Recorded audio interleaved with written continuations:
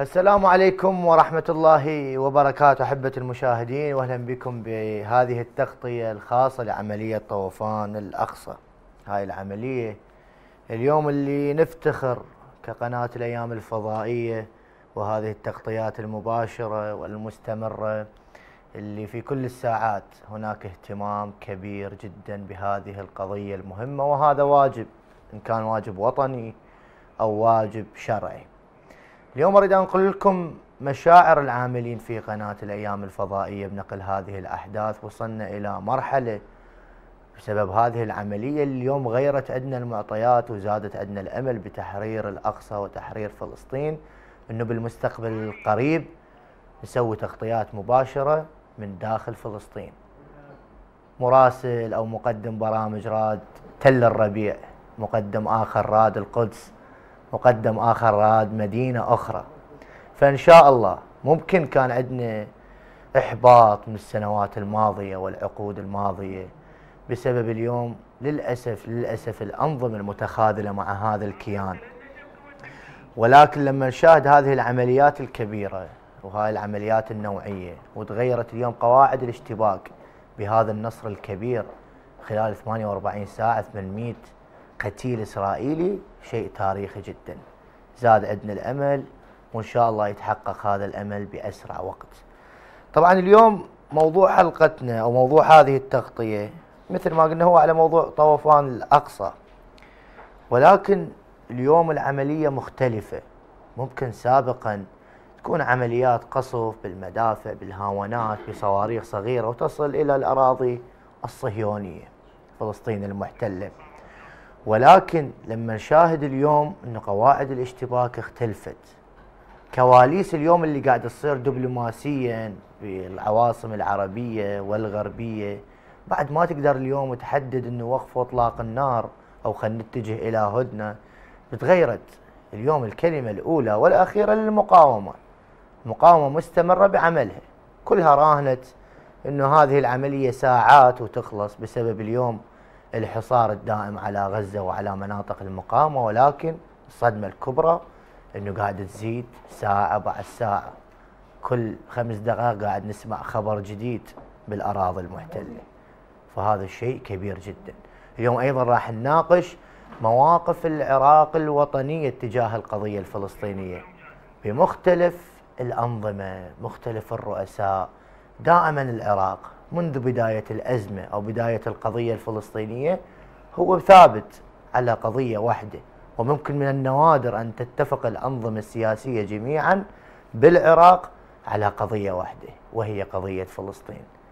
فهذا الشيء فخر لكل عراقي. طبعا أحبة المشاهدين ضيوفنا اللي متواجدين ويانا. أكيد الدكتور محمود الهاشمي رئيس مركز الاتحاد للدراسات. أهلا وسهلا بك دكتور. أهلا وسهلا مرحبا. وأكيد أيضا آه، نرحب بالأستاذ مهند جواد عضو شبكة الهدف. أهلا وسهلا بك أهلا وسهلا. ومعانا عبر السكايب الأستاذ عدنان الأفندي الباحث السياسي. أهلا وسهلا بك حياكم الله سيد المساء يا ربي يخليك. آه طبعا آه كل التحية لكل ضيوفنا الأعزاء وأبدأ مع الدكتور محمود الهاشمي. دكتور محمود العراق منذ عقود ومنذ بداية أزمة فلسطين أو القضية الفلسطينية ثابت على مواقف واحدة وهو دعم القضية. كيف تقرأ هذا الشيء؟ بسم الله الرحمن الرحيم. تحية لكم على هذه التغطية لهذه المعركة النبيلة المشرفة للأمة. وتحية لبرنامجكم الموقر ومشاهديكم الكرام وضيفيكم العزيزين. سيدي الكريم ربما أنا عشت القضية الفلسطينية أكثر من الزملاء ربما الضيفين صحيح. وآخرين باعتبار قد قارب عمري السبعين عاما. الصحة والعافية دائما. الله يسلمك. ويشرفني أنني عشت هذه التجربة منذ بدايتها وحتى هذه اللحظة وكنت شاهدا وراعيا لهذه التجربة ومدافعا عنها مرة أكون مدرسا فأتحدث مع الطلبة عن القضية الفلسطينية نعم. ومرة أكون تلميذا كنا نجمع الدراهم والعملة البسيطة وندفع بها من داخل المدارس ونرسلها إلى الشعب الفلسطيني وإلى المقاومة الفلسطينية. نعم. وكذلك كشاعر أيضا طالما كتبت قصائد بحق فلسطين وكنا نعتقد في الستينات والسبعينات وثمانينات القرن الماضي أن الشاعر والأديب الذي لا يكتب عن فلسطين ليس بشاعر. أه. وكشاهد على كل ما آه، رأيت أولا نقول أن المزاج العراقي والثقافة العراقية هي ثقافة نصرة للشعب الفلسطيني. نعم. منذ عام 1948 ربما يعتقد البعض أنه مع الاحتلال كان هنالك دعم العراقي للقضية الفلسطينية. إنما هذا يمتد إلى قبل هذه المرحلة يوم كان الصهاينة يسعون بعد الحرب العالمية الأولى في أنهم يبحثوا عن دولة تسمى فلسطين باعتبار كأرض الميعاد لهم نعم. هذا السجل موجود وموثق لدينا بالعديد من رجال الدين الكبار الذين ناصروا القضية الفلسطينية وزاروا فلسطين قبل احتلالها نعم. والتقوا بقيادات ومنهم الشيخ كاشف الغطاء أه. وكتب عن ذلك ووثقها وكتب قصيدة بحق الشعب الفلسطيني والمقاومة الفلسطينية ونصرة فلسطين في ذلك الوقت يوم كان يتآمرون على فلسطين. نعم. ثم بعد ذلك عندما حدث ما حدث وطبعا هو الظرف التاريخي هو الذي ساعد الصهاينة على أن يحتلوا أرض فلسطين آه لأسباب كثيرة طبعا.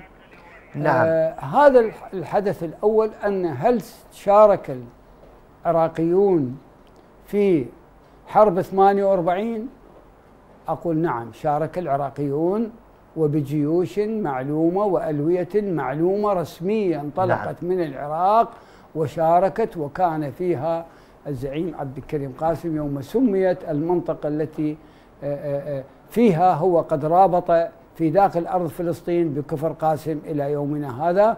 ولدينا نعم. شهداء وقبورهم شاخصة إلى, إلى الآن هذا. نعم نعم سيد. أكيد دكتور عفوا دكتور أيضا راح نرجع لك ونكمل اليوم هذه السلسلة التاريخية وتوقفنا على 1948 ننتقل للاستاذ مهند جواد عضو شبكة الهدف.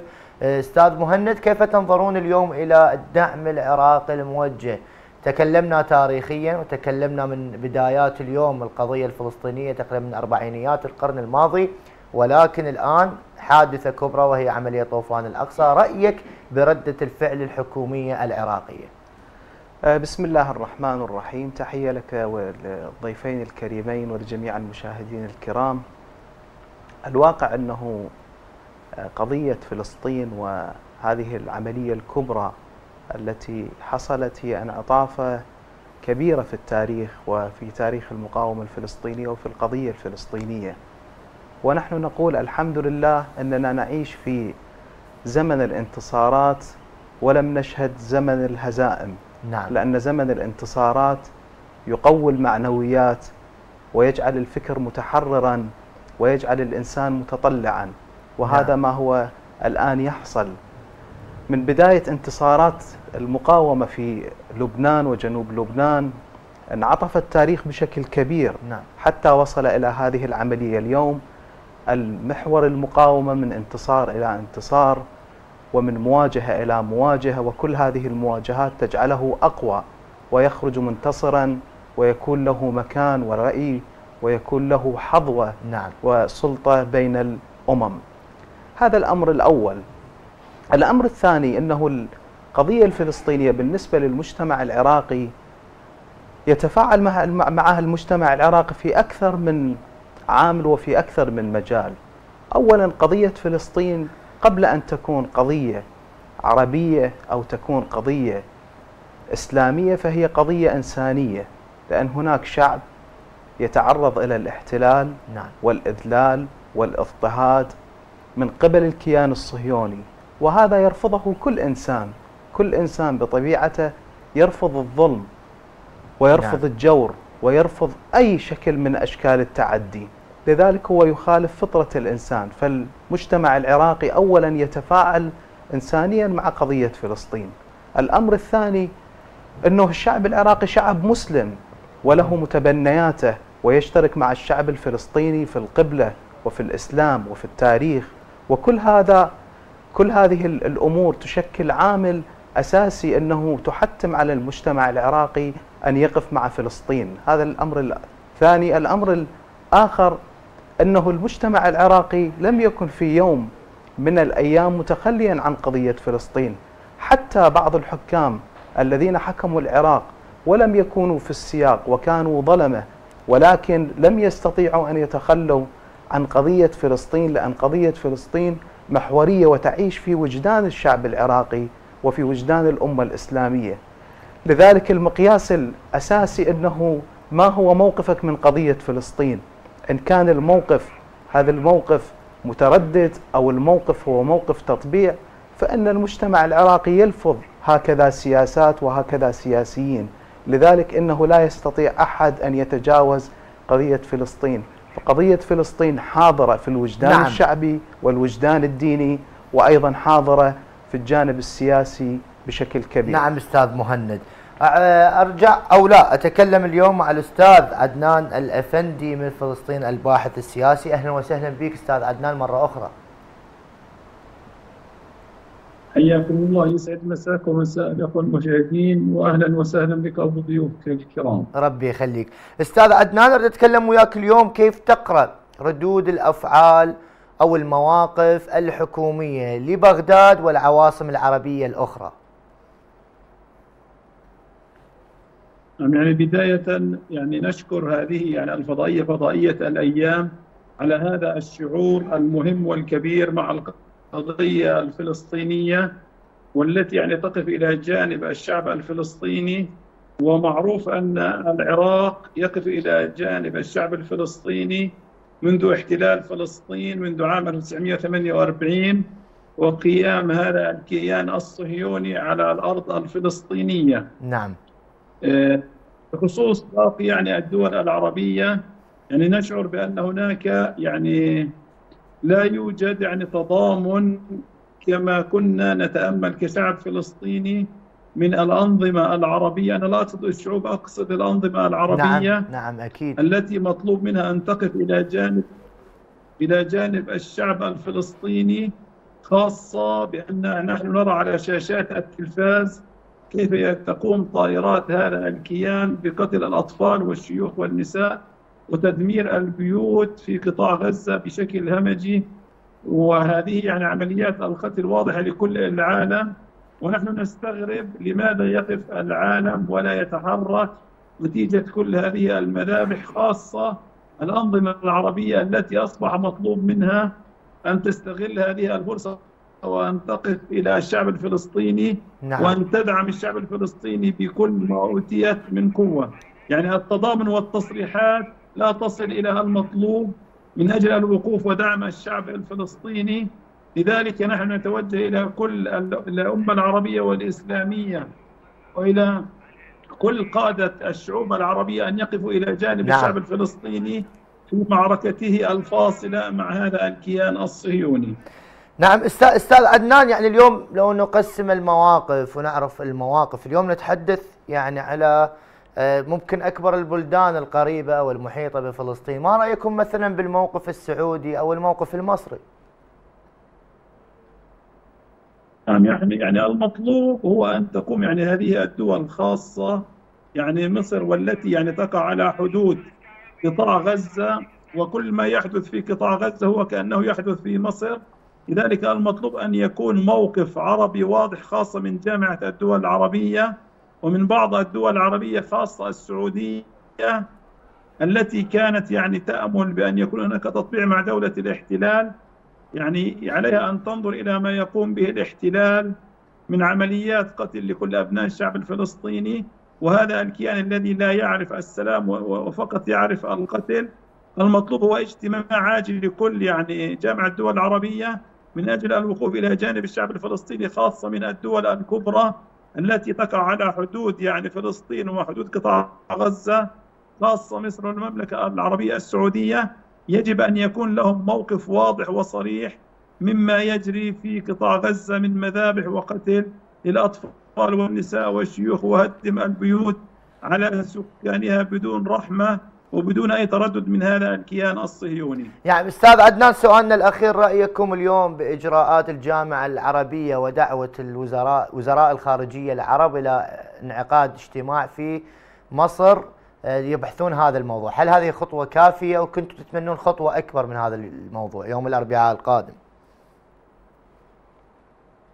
طبعا يعني اجتماع لجامعة الدول العربية لن يكفي ولم يكن كافي في السابق لأننا رأينا في السابق مثل هكذا اجتماعات ولم تجدي نفعا ولم يكون لها أي دور في دعم يعني الشعب الفلسطيني خاصة بأن الأمور واضحة ولا تحتاج إلى الاجتماعات المطلوب بشكل عاجل أن تقف هذه الدول إلى جانب الشعب الفلسطيني بكل ما أوتيت من قوة لأن الاجتماعات لن تجدي نفعا نعم. وجربت في السابق لذلك المطلوب هو يعني تحرك سريع يعني من خلال يعني كل الدول العربية وجمع الدول العربية والتوجه للمجتمع الدولي وأخذ قرارات حقيقية من أجل وقف يعني مثل هكذا مذابح وقتل للشعب الفلسطيني في كل أماكن تواجده خاصة في يعني قطاع غزة.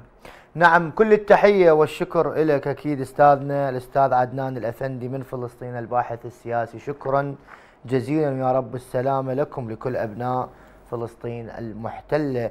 أعود مع الدكتور محمود الهاشمي رئيس مركز الاتحاد للدراسات.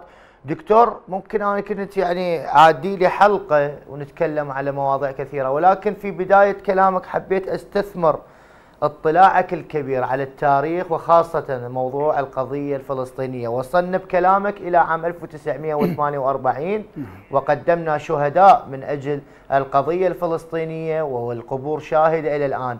بعد العام 1948 أريد تسلسل تاريخي لدعم العراق لهذه لهذه القضية. يعني هو حتى قبل 48 أوردت لك أن الكثير من علمائنا ومفكرينا وكتابنا أيضا كانوا قد ناصروا القضية الفلسطينية عندما أحسوا بالتآمر أنذاك آه، آه، على القضية الفلسطينية.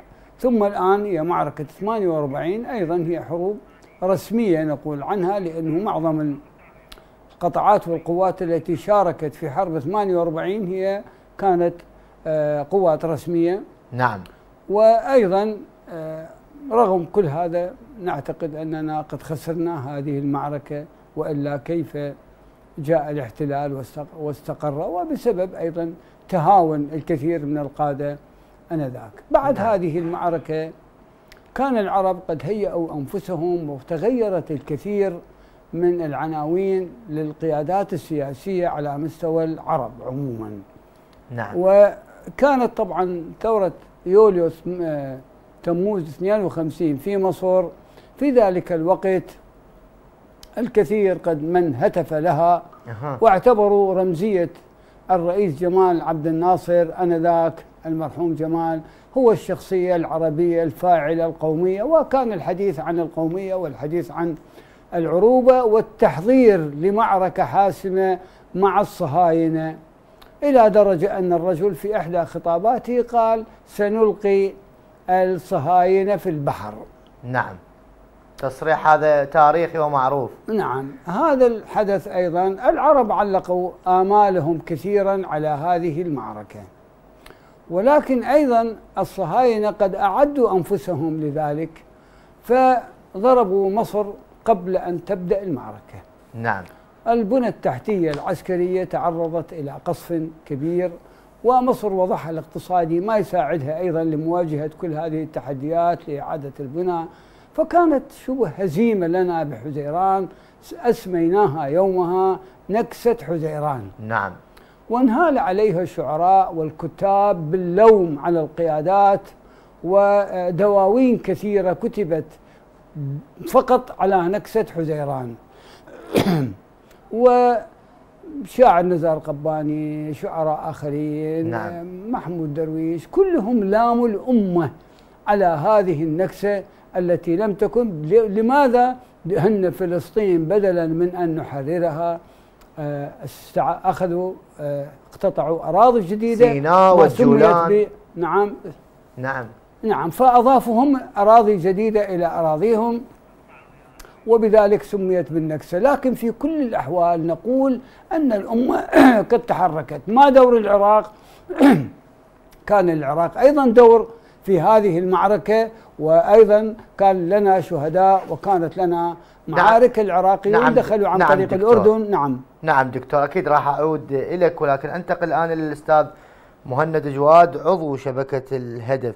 أستاذ مهند اللي قاعد نسمع تصريحات من زعامات سياسية زعامات دينية على دعوة لتظاهرات يعني رأيك بهذه المواقف يعني الكثير من الزعامات الدينية والسياسية دعت وبصورة مكثفة وشاهدنا ردة فعل الشارع العراقي من خلال السوشيال ميديا على استعداد العدد كبير جدا للنزول إلى التظاهرات دعما لهذه القضية، كيف تقرأ هذا الموقف؟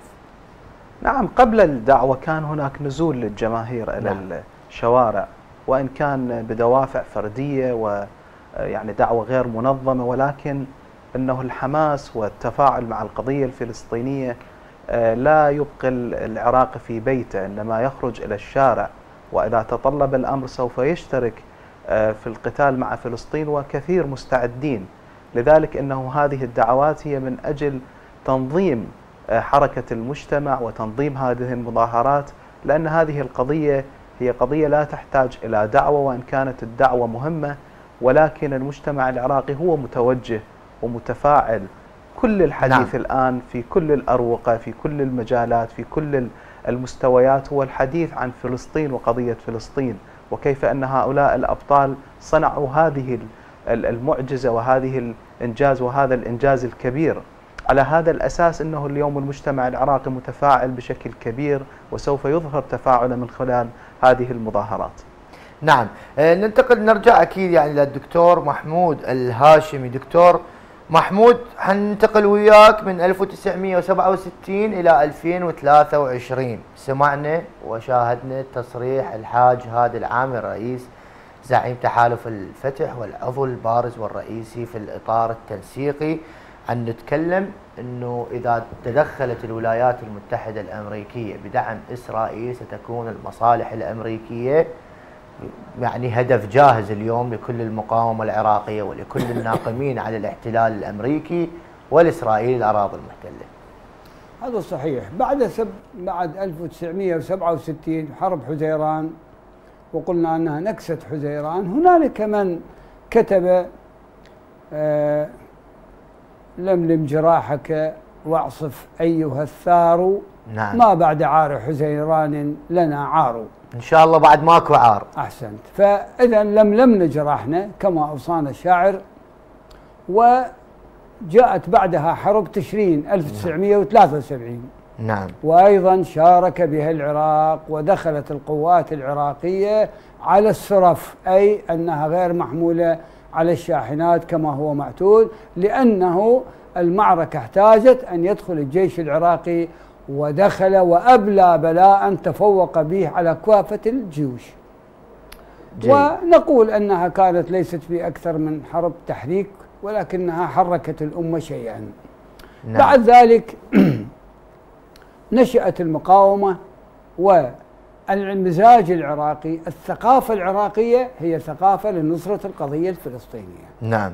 ما صرح به شيخ المجاهدين الحاج هادي العامري هو امتداد طبيعي لكل تاريخ المجاهدين الذين ضحوا من أجل القضية الفلسطينية وهذا الشرف الكبير لهم. نعم. لذلك أنا بالنسبة لم يعني أرى عجبا أن يصرح الحاج هادي وهو آه ابن الميادين وابن السواتر الذي عرف في مقاتلة الإرهاب والإرهابيين ومن ذلك منازلة الاحتلال. ما يقوله الحاج هو يتساوى فيه مع كافة الإخوان المجاهدين لأنه هو أكبرهم سنا وعندما صرح بذلك كافة فصائل المقاومة قطعا معه في الميدان. نعم. وهذا التصريح الحقيقة ليس سهل كما يعتقد البعض. صحيح. إنما هو تصريح يمثل هوية العراق. ويقول البعض هل أنه هذا التصريح مجرد تصريح؟ أقول لا. إذا ما أرادت أمريكا أن تتدخل في هذه القضية بل وأقل من ذلك إذا ما شعرنا أن الشعب الفلسطيني في خطر وأنه سيذبح أيضا سنقف معهم ونقاتل ونريق دماء من أجل هذه القضية الشريفة والنبيلة نعم. كثير من شبابنا إلى الآن قاتلوا في لبنان وقاتلوا في سوريا ومعروف هذا القتال مع من والجهة التي قاتلت وكذلك صحيح. في الجولان وفي كل الميادين إذا ما يقوله الحاج هادي هو جزء من تاريخ هذه الأمة ولم نخرج عنه بعيدا ونحن كبارا صغارا نقول أن القضية الفلسطينية هي قضيتنا الأولى وإذا لم نسترجع الأرض الفلسطينية فكأننا غرباء حتى على أرضنا ونشعر أننا لم ننجز نعم. مهمتنا الدينية والأخلاقية. نعم. نعم ننتقل للأستاذ مهند الجواد. أستاذ مهند لأهمية التصريح. أيضا نريد نعرف رأيك بهذا الموضوع تصريح الحاج هادي العامري. نعم مثل هذه المواقف الحاج هادي العامري وغيره من القيادات إنه هذا الموقف اولا يمليه الدين إنه الإنسان يكون مسؤول من أصبح ولم يهتم بأمور المسلمين فليس بمسلم وأي أمر أهم من قضية فلسطين. هذه القضية التي شغلت العرب وأرقت العرب لفترة طويلة ولا زالت هي هم كبير وهم محوري. لذلك أنه المسؤولية الدينية تملي علينا أن نقف مع فلسطين. الأمر الثاني إذا نظرنا إلى الموضوع موضوع سياسي أنه كيف يتكتل الطرف المقابل الولايات المتحدة الأمريكية ورئيس الولايات المتحدة يصرح نحن نقف مع إسرائيل ولا نترك إسرائيل وسوف نقوم باللازم من أجل إسرائيل هم يتوحدون على الباطل ونحن لا نتوحد على الحق. فحتى إذا حسبناها على أساس لغة السياسة والمصالح فإنه طرف مقابل طرف. فنحن لا يمكن أن نقف مع الولايات المتحدة الأمريكية وموقف الولايات المتحدة الأمريكية إذا هي أرادت أن تفتك بالشعب الفلسطيني. نعم.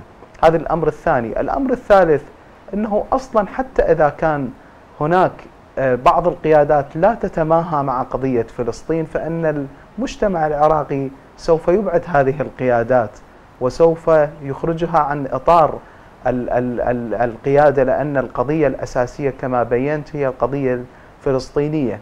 لذلك هذا الموقف هو موقف ديني وموقف إنساني وموقف سياسي وهذا الموقف هو المعتاد من المجتمع العراقي وكل القيادات. ونحن معروف كثير من الشباب قاتلوا في سوريا وقاتلوا في لبنان وقاتلوا في اليمن وكل الساحات الموجودة المجتمع العراقي والشباب العراقيين موجودين.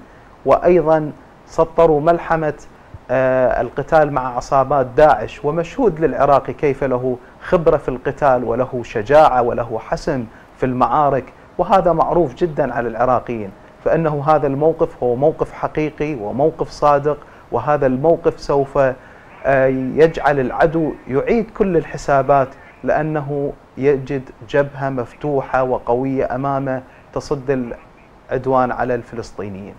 نعم طبعا أكيد ينضم لنا ضيف عزيز الأستاذ صالح القزويني الباحث السياسي من طهران. أهلا وسهلا بك أستاذ صالح.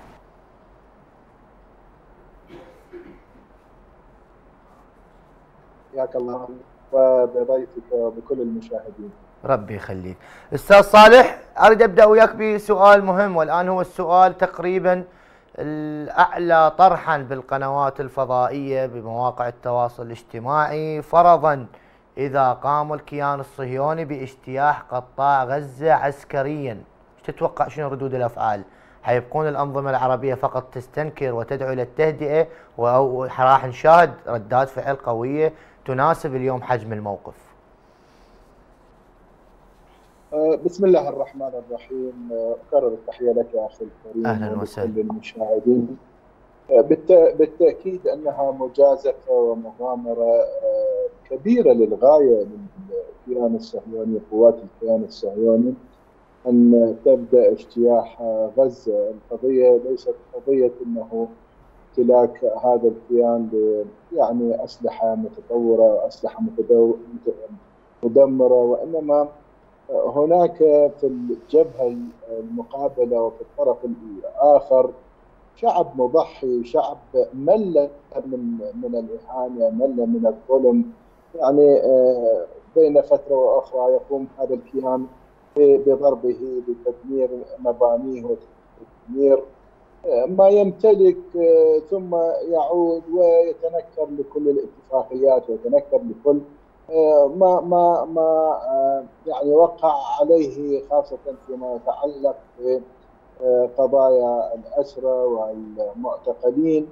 بالتالي يجب أن يجب وضع حد نهائي لكل هذا الاستهتار الاستهتار الصهيوني بغزة. الجميع يعلم أنه الكيان يعني يستعرض عضلاته على المباني يستعرض عضلاته نعم. على على المنازل ليس أكثر من ذلك. هذه حدود وقوة هذا هذا الكيان. بينت مدى قوته من قوته من خلال يعني الضربه القاسمه بالترتيب التي واجهها فلسطين أبطال المقاومة لهذا الكيان. من خلال الاجتياح من خلال هذه المعركة المعركة نعم. الكبيرة جدا ضد هذا الكيان. نعم أستاذ صالح يعني أيضا الجزء الثاني أو الشق الثاني من سؤالي فرضا لو حصل الاجتياح لو زادت هذه اليوم القوة الغاشمة للكيان الصهيوني هذا القصف الأرعن المستمر على قطاع غزة هل راح نشاهد موقف للأنظمة العربية يناسب اليوم؟ حجم الدمار حجم الخسائر الكبيرة اللي قاعد يقدمها الفلسطينيين؟ يعني دعني أقول أن المقاومة الفلسطينية المجاهدين الفلسطينيين آه، لا يراهنون بتاتا على المواقف العربية أو المواقف الإسلامية. اللي هم يراهنون على قوتهم. بالتالي عندما آه، يعني يقدموا على هكذا آه، إنجاز يقدموا على مثل هذه العملية الخطيرة والكبيرة جدا. بالتأكيد أنهم يحسبون لما يمتلكونه من قدرات لما يمتلكونه من إمكانيات لما آه، يعني يراهنون عليه من دعم الشعب الفلسطيني بالذات ل يعني مواجهتهم لعملياتهم. بالتالي أنا أعتقد إنه الرهان الأول والأخير هو الرهان على الشعب الفلسطيني والمقاومة تراهن على الشعب الفلسطيني. وإذا إذا كنا قد راهنا على الأنظمة العربية مواقف الأنظمة العربية فإنها فإننا لن نصل إلى شيء لن نحقق شيء. إذا كانت المواقف العربية توصلنا إلى شيء لكانت قد أوصلتنا. نعم. لما لما قبل عشرات السنين.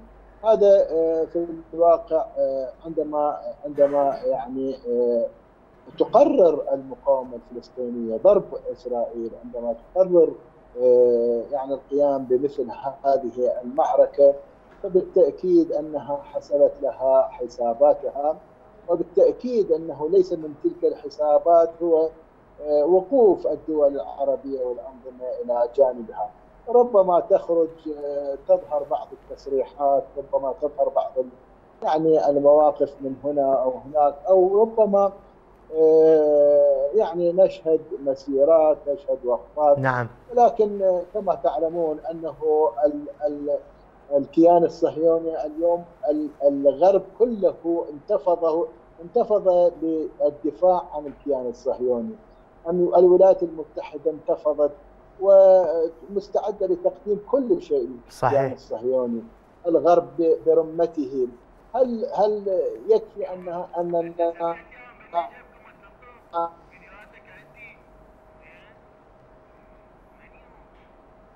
نعم أتوقع الشبكة غير مستقرة. نعم. آه طبعا نرجع مع الدكتور محمود الهاشمي. دكتور أريد أسألك سؤال يعني حقيقة عندي أني فضول وسؤال يسأله الأعداء قبل الأصدقاء. ما هو الربط بين تغريدة السيد الخامنئي اللي كان عنوانها إسرائيل تحتضر وربطها مع عملية طوفان الأقصى؟ هل تتوقع أكو ربط أكو شيء؟ اولا بالنسبة للجمهورية الإسلامية لا ترى حرجا في دعم القضية الفلسطينية. نعم. كما أن قادة قادة المقاومة الفلسطينية لا يرون حرجا في أنهم يقولون نعم أن الجمهورية الإسلامية تدعمنا بالإعلام وفي الموقف السياسي وبالسلاح وبالمال.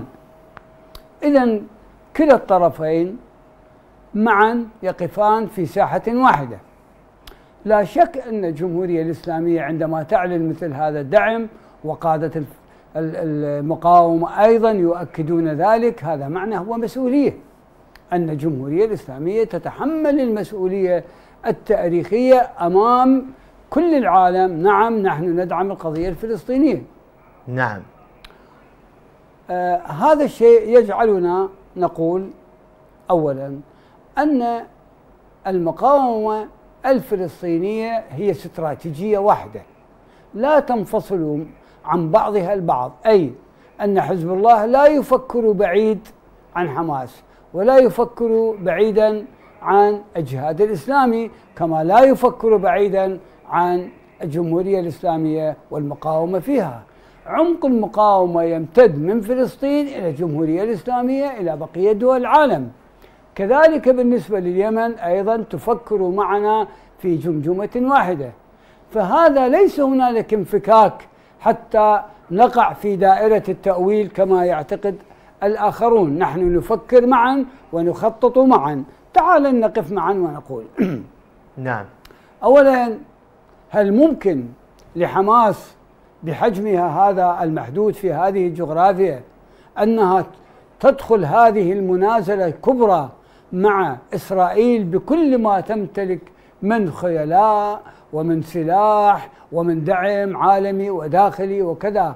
وهم في هذه الجغرافيا البسيطة التي لا تتعدى بضعة كيلوات. طيب كيف تدخل هذه المنازلة إذا لم يكن لها عمق للعمق مقاومة نعم. في بقية مناطق المقاومة؟ فلذلك لا نستطيع أن ننفصل ولا أريد أن ننكر ذلك. ولا نريد أن نتبرأ من هذا الموقف.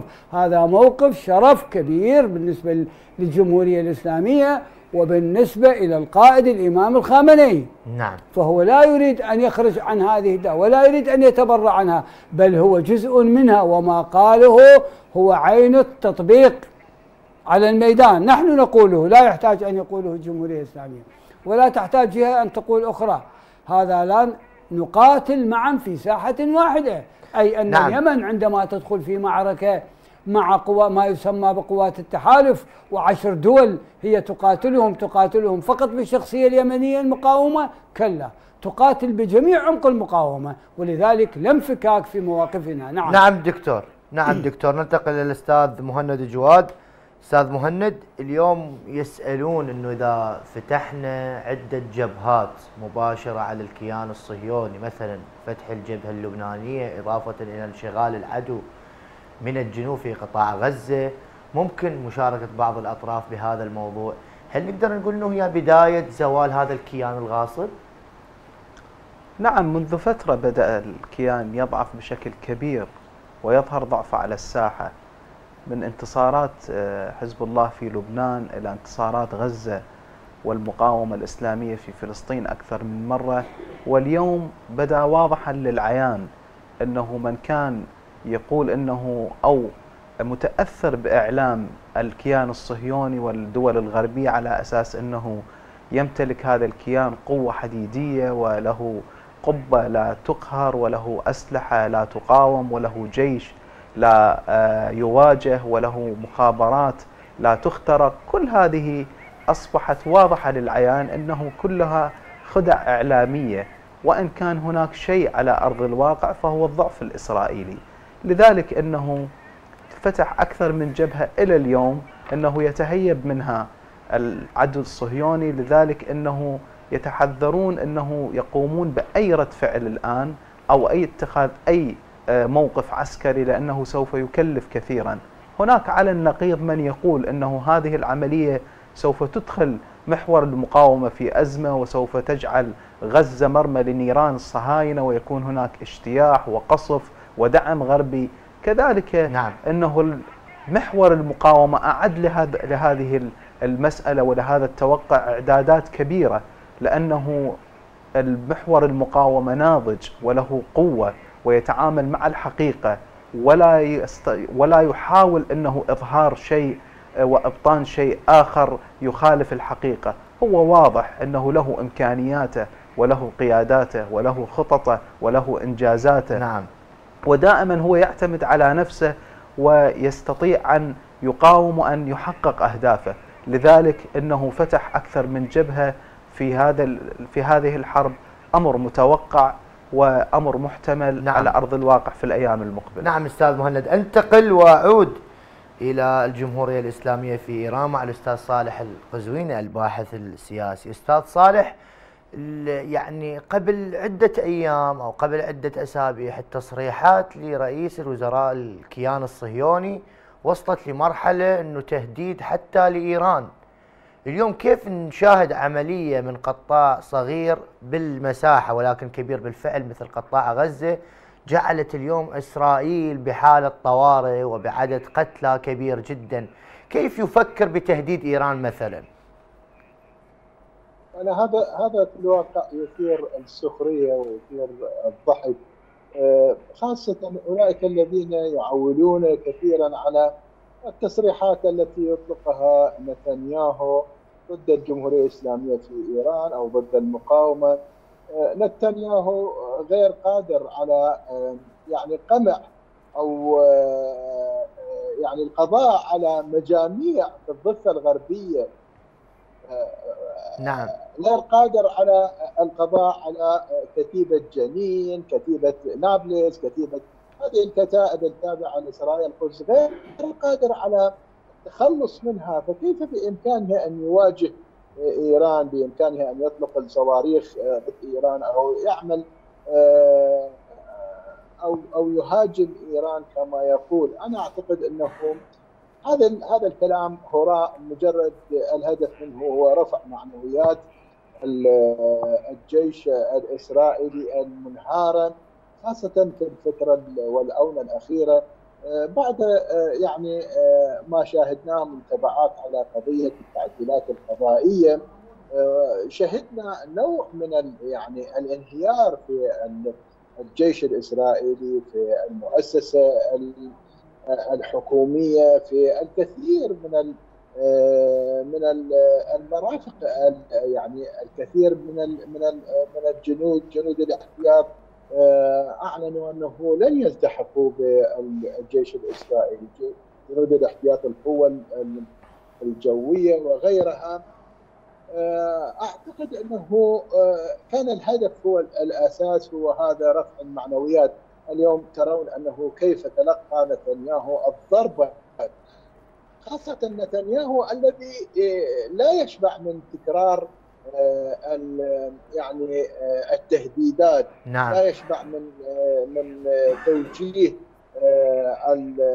يعني التهديدات سواء لإيران أو لحزب الله أو أو سائر محور المقاومة أنا أعتقد أنه بينت هذه العملية بينت بينت هذه المعركة مدى ضعف الكيان الصهيوني وأنه غير قادر على آه، يعني مواجهة مجموعة آه، من الفلسطينيين فما فما بالك أن يواجه آه، محور المقاومة نعم. ما بالك أن يواجه فصائل المقاومة وما بالك أن يواجه الجمهورية الإسلامية في إيران اليوم الكيان الصهيوني يخشى من دخول من دخول حزب الله في هذه المعركة يخشى نعم. من أن يتحرك حزب الله ويوجه ضرباته ضرباته القاسمة للكيان الصهيوني. اليوم يطلقون التهديدات لحزب الله يطلقون التهديدات لسائر آه، فصائل المقاومة آه، بعدم التدخل في هذا الموضوع. ولكن صبر المقاومة له حدود. إذا آه، يعني تجاوزت نتنياهو إذا تجاوز حدوده فليس آه، يعني آه، لا يمكن أن أن الكرة لا تتدحرج. بالتأكيد أن الكرة سوف تتدحرج. نعم أستاذ صالح. أن العمليات والحرب والمعركة سوف تنتقل كل... إلى أماكن أخرى. إن لم يوقف آه، يعني وحشيته وجنون إن شاء الله. نتنياهو بهذه كل كل كل التحية والشكر لحضرتك الأستاذ صالح صالح القزويني من إيران الباحث السياسي. شكرا جزيلا. وأكيد نشكر الدكتور. محمود الهاشمي رئيس مركز الاتحاد للدراسات والأستاذ مهند جواد عضو شبكة الهدف والأستاذ من فلسطين عدنان الأفندي الباحث السياسي. إلى هنا أحبة المشاهدين تنتهي تغطية قناة الأيام. الفضائية المستمرة لعملية طوفان الأقصى وقناة الأيام مستمرة هذه الأيام بالنقل المباشر لهذه العمليات. وإن شاء الله من نصر إلى نصر. إلى هنا تنتهي هذه التغطية نلتقيكم بتغطيات أخرى. إلى اللقاء.